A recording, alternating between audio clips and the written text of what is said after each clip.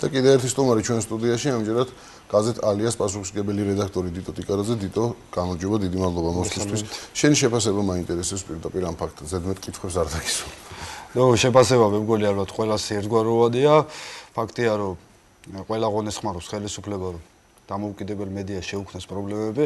ეს ახლა არ დაწყებულა ეს არ არის ახალი ამბავი. უბრალოდ ეხლა უფრო გააქტიურდა იმიტომ რომ ტელევიზიები გაცილებით მეტ საფრთხეს წარმოადგენს მათთვის ვიდრე აა თქვათ ბეჭდური მედია. და გარდა ამისა ამას ახლა რასაც უსმენდი ჩემ კოლეგებს აბსოლუტურად ვეთანხმები მათ მოსაზრებებს უბრალოდ დავამატებ იმას რომ აა მათი პრობლემა მდგომარეობს იმაში არა მარტო მათი ხელისუფლებას გულისხმობ რა თქმა უნდა პრობლემა მდგომარეობს იმაში რომ აა როცა გაგახსენებთ იმედი და თქვა რუსთავი 2 იყო რაღაც კონკრეტული თემა როცა შუქდებოდა იმედზე რუსთავი 2 იძულებული ხდებოდა ამ თემაზე რაღაც სიუჟეტი გაეკეთებია აა ეს იყო უარყოფით კონტექსტში თქვა წარმოადგენილი რაღაც ხელისუფლების რომელიმე ქმედება. ეხლა უკვე როცა ნაციონალური მაუწყებლები სინქრონულად მუშაობენ და პრაქტიკულად ჩვენ მქონდა უამრავი მაგალითი, როცა ერთი და იგივე ტექსტებს კითხულობენ, ერთი და იგივე სიუჟეტები, აბსოლუტურად identურ ტექსტებს, სიტყვა რო არის ცვლება. ამ შემთხვევაში როცა გადის თქვა ერთ-ერთი მაუწყებელი საქართველოს მასშტაბით და თქვა განსხვავებული ინფორმაციას მიაწვდის თავის მაყურებელს, აა ამასე ვთქვათ მიჩქმალვა და ამაზე არაფრის თქმა თავისთავად უკვე პირდაპირ წარმოაჩენს იმ საზოგადოების იმ ნაწილში მათ სახეს რომელთაც ამის შესახებ არაფერი არ იციან. ელემენტარულ რაღაცას გეტყვით რომ იგივე ახლა გურიაში სოფელი მაგ შეიძლება მიწევს ჩასვლა და როცა იქ ვთქვათ უყურებენ იგივე რუსთავიურს იმედს ხოლოდ და ხოლოდ ნუ პირველ რიგში საფსიხარ უყურებენ როცა რუსთავიურს და იმედს უყურებენ აბსოლუტურად სხვა წარმოდგენაა საერთოდ რა ხდება ქვეყანაში ძელი ამ ხალხის დარწმუნება იმაში, რომ ესე კარგად ყველაფერი არ არის როგორც მათ გონიათ. თავრობა ქმნის რაღაც ვირტუალურ რეალობას, რომელშიც ცდილობს არსებობს ორი საქართველო. ხო, მაგრამ ეს ვირტუალური რეალობა განსხვავდება ახლა ჭეშმარიტებისგან თავისთავად ხადია. მაგრამ აქ ამაზე არ არის საკითხი. აქ არის საკითხი იმაზე, რომ ეს ყველაფერი წინასაარჩევნოდ კიდევ უფრო აქტიურდება. რა თქმა უნდა, რა თქმა უნდა, გეთანხმები აბსოლუტურად, იმიტომ რომ წინასაარჩევნოდ ეს ის პერიოდია, როცა მათ დაინახეს უკვე სერიოზული ოპონენტი, დაინახეს ძალა ხალხის, დაინახეს ხალხის რაოდენობა, იგივე 27-ში ელოდებიან რა იქნება 10-ში. აქედან გამომდინარე, თავისთავად მასთი ქმედებები არის მათ სწორად თქვა რა, ეხლა უსმენდი იგივე თქვა ნინია კაკაბაძეს, მათ კარგად იციან მედიის ზალა. მედიის თქვა ძალით და მედიის წყალობით მოხდა მე მგონი აი კარგად იციან მედიის მედიის ზალა ამ შემთხვევაში აქ ჩვენ საუბრობთ იმაზე მათ კარგად იციან მედიის გამოყენებით მიღებული ხეირი რა შეიძლება იყოს თორე მედიის ზალა ეს ჩვენი ძალა მათ ზუსტად არ იციან, იმიტომაც არის რომ ასე ცდილობენ რომ დავშავო. მაგ შემთხვევაში ხო, ეთანხმები არის უბრალოდ ეხა ეს ეს უბრალოდ ტერმინოლოგიის თქვა განხილვა შეიძლება სხვა და უბრალოდ მათ იციან რომ რა სარგებელი შეიძლება მოიტანოს მედიამ და იგივე რა პრობლემები შეუქმნას იგივე მათ რა. ზუსტი ინფორმაციის, რეალური ინფორმაციის გადაცემა. ჩვენ ხშირად გვეუბნებიან ხოლმე და საყვედურობენ რატო არ წერთ მაგალითად იმაზე რაც კეთდება კარგი ქვეყანაში. მართლა ვხედავ რომ რაღაცა კარგი კეთდება ქვეყანაში და ეხა ესე არა ვარ მხოლოდ და მხოლოდ რომ მარტო ცუც ხედავდეთ მაგრამ როცა ამდენი მაუწყებელი თქვა და ესეთ ნაციონალური მაუწყებელი გადმოსცემს მხოლოდ და მხოლოდ ამას და თან გადმოსცემს ისეთ კონტექსში როგორც შეიძლება თქვა მხოლოდ ეს კეთდება და მეტი არაფერი მე უკვე მიჩდება თქვა სურვილი რომ მეორე მხარე ანუ სხვა ინფორმაცია მივაწოდო ჩემს კითხველს და არა ის რასაც თქვა იგებს ისედაც ხო? და მივაწოდო ის რაც იმალება ამ ტელეარხების და ამ თქვა მაუწყებლების საშუალებით. აქედან გამომდინარე, თავისთავად ეს წინასაარჩევნო პერიოდში გააქტიურება ეს არ იყო თქვა მოულოდნელი ჩემთვის. უბრალოდ უკვე წავიდნენ იმ გზით, რომ ქმნიან უკანონო კანონებს, ანუ კანონის ჩარჩოებში აქცევენ უკანონობას. როგორ შეიძლება ნუ ჩვენ გვახსოვს იგივე პრესის წინააღმდეგ დაწყებული კამპანია როცა გავრცელების თქვა ადგილები შეზღუდეს გვახსოვს იგივე გლობალ ტივის სიტუაციები როცა თქვა გათიშეს სხვა არხები ხა უბრალოდ ალოგიკურია როცა ტელეკომპანია არ გთხოვს ფულს საკაბელო მაუწყებელს თუნდაც 200 მიათედ რატო არ უნდა იყოს ჩართული ის არხი და რატო არ უნდა მქონდეს მე შესაძლებლობა იმას უყურებ. ეხლა დღეს როგორც ვთქვათ მე ვალდებული ეს ქნია სიტუაციას რომ პრაქტიკულად ერთი საკაბელო ოპერატორი არ არის საკმარისი რომ უყურო მთელ სპექტრს ტელეგრაფს. ზუსტად მაგას ვამბობდი ეხლა როცა მე რამდენიმე ალტერნატიული საკაბელოს ჩართო რომ ცალკე მაესტრო ქონდეს ცალკე კავკასია ქონდეს ცალკე თქვა თუ ანალოგიურ სიტუაციაში ზუსტად მაგას ვამბობდი გოგი რომ მე სახლში სამსახურში ეხლა მიყენია ორი თქვა საკაბელო არქივი ყავს შემოყვანილი და რატო? იმიტომ რომ ერთზე გლობალზე ვერ ვიჭერ რუსთავს და ეს აბსოლუტურად არ გამომდინარეობს გლობალის პრობლემიდან, ანუ გამომდინარეობს იმიდან რომ თვითონ გათიშეს ეს მაყურებლისთვის თორე თქვენ კარგად იცით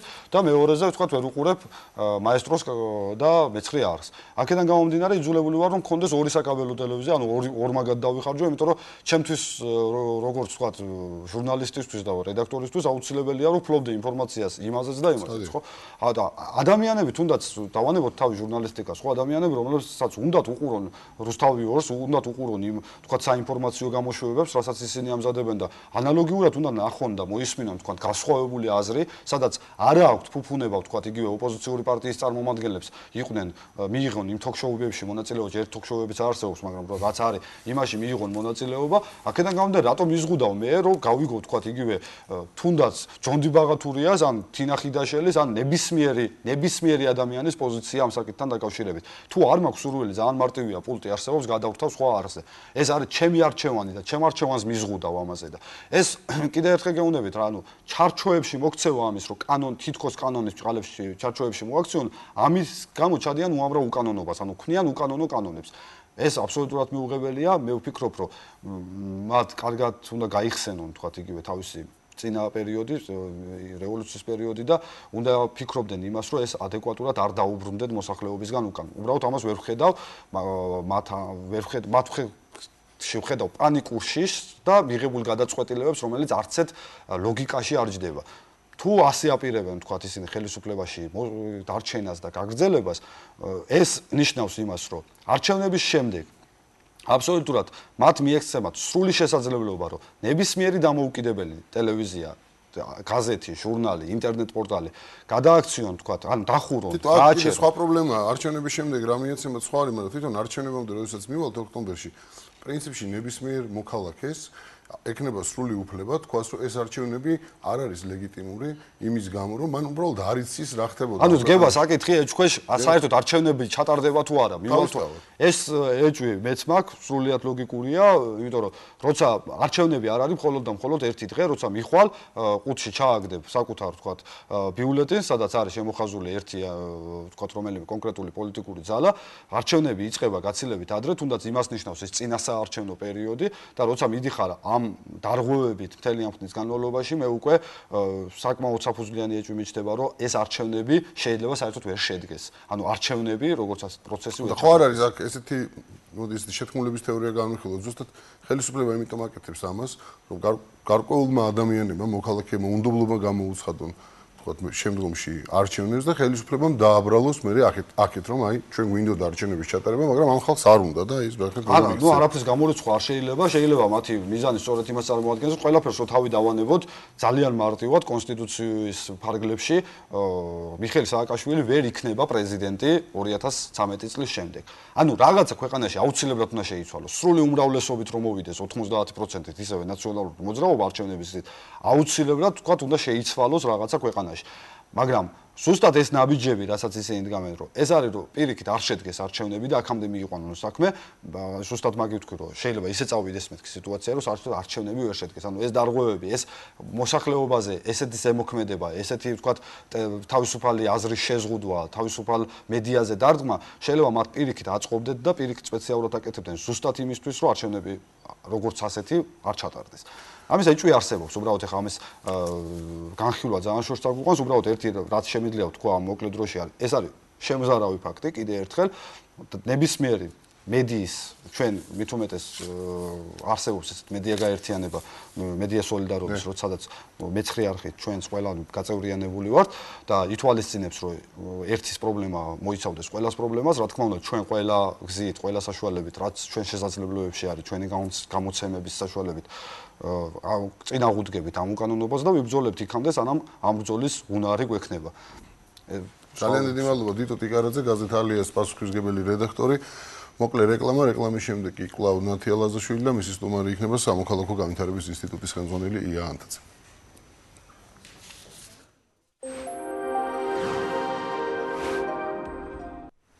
ჩვენ პირდაპირ ეთერში ბრუნდები და ჩვენი ბოლო სტუმარი ამ ეტაპზე რადიო თავისუფლების ჟურნალისტი ია ანთაძია, ია მოგესალმები.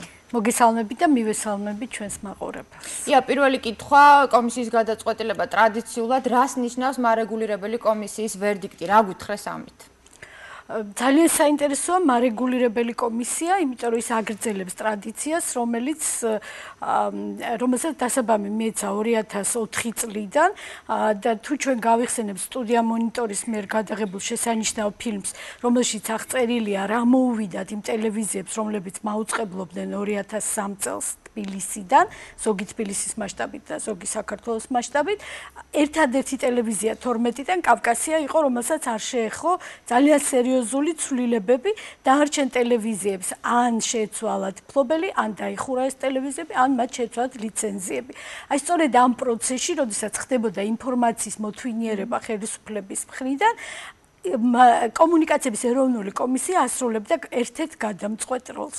და არავის არ უკვირს დღეს რომ ჩვენ უკვე ვიცით აი ამ წლების განმავლობაში კომუნიკაციების ეროვნული კომისია ხელმძღვანელობდა ძირითადად პოლიტიკური ნებით და პოლიტიკური ნების შესაბამისად ღებულობდა გადაწყვეტილებებს, რომლის საფუძველზეც ადამიანებს სულ უფრო და უფრო ნაკლები ხელმისაწვდომობა ჰქონდათ რეალურ ინფორმაციაზე.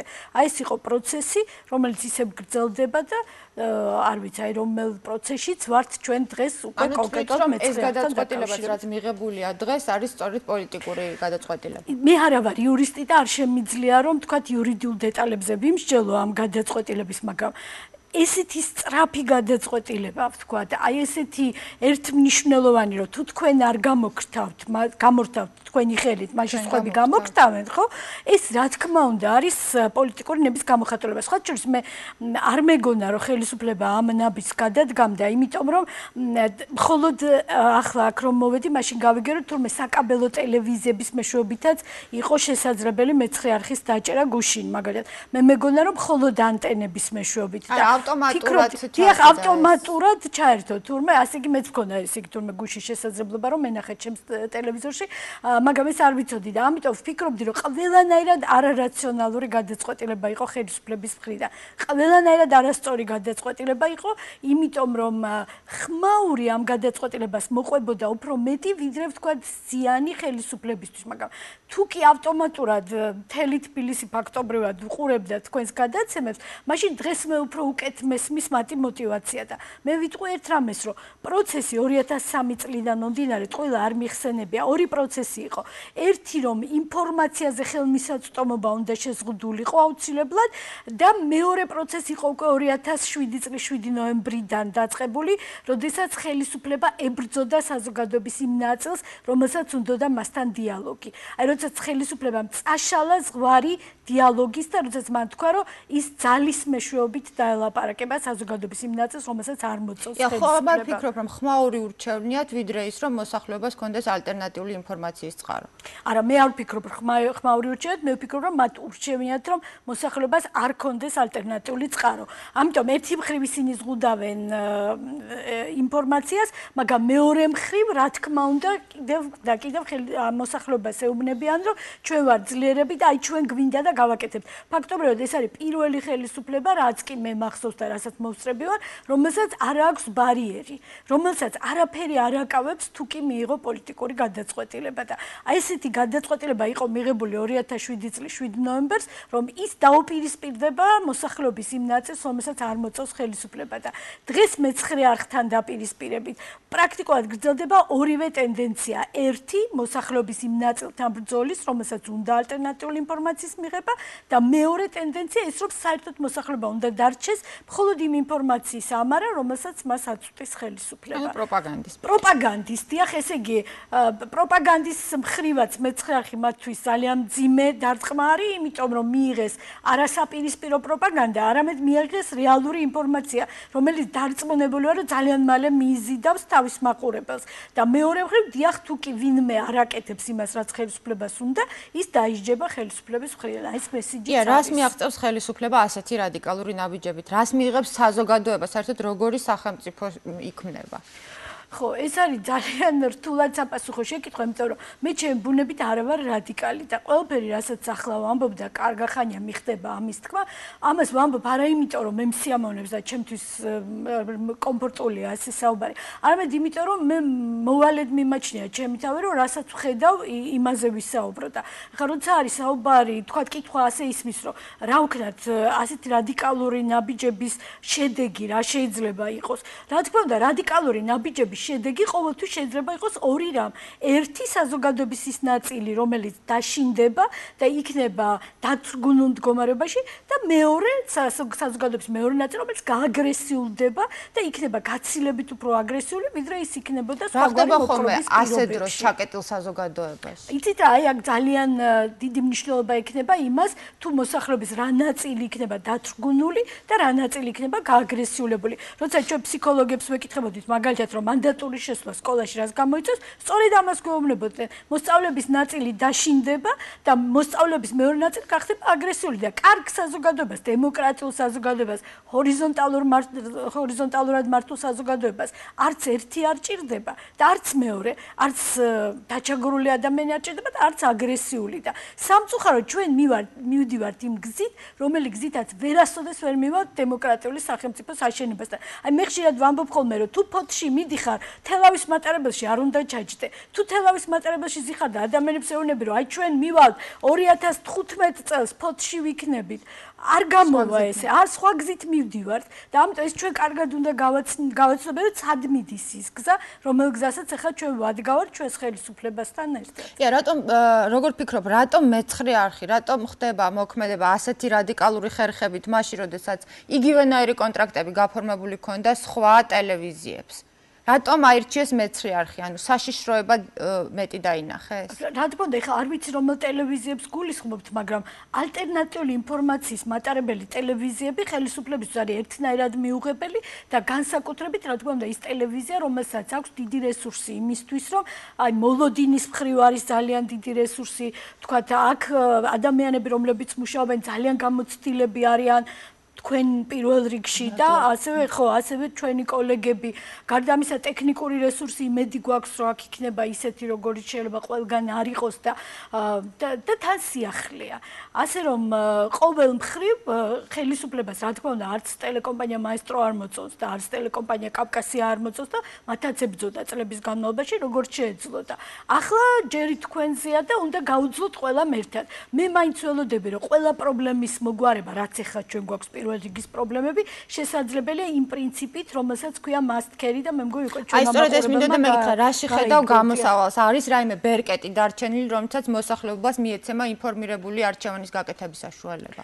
აა ხო, ეხლა საერთაშორისო საზოგადოება თუ კი ვინმე არის დაინტერესებული საქართველოსი იმეორებს ერთსა და იმავეს რომ საარჩევნო გარემო უნდა გაკეთილშობილდეს და საარჩევნო გარემო გრძელვადიან პერსპექტივაში უნდა იყოს იდენტური ყველა პოლიტიკური ძალისთვის და მოსახლეობას უნდა მიეწოდებოდეს ალტერნატიული ინფორმაცია ეს შესაძლებელია დღეს ერთი ყველაზე მოკლე გზით, თუ კი პარლამენტი მიიღებს ამ პოლიტიკური ნება იქნება იმისი, რომ ყველა საკაბელომ გაატაროს ის ტელევიზია, რომელიც ქმნის პოლიტიკურ კონტენტს.